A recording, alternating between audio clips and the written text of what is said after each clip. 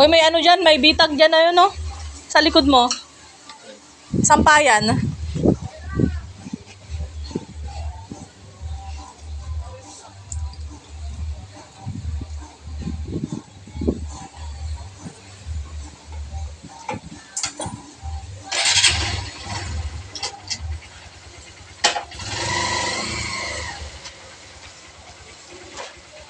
May sampayan sa likod mo, anak, ha?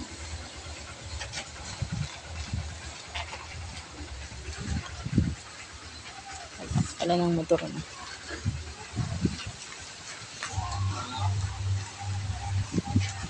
Sa bahay na diretso ah. Ito sa lolo mo eh.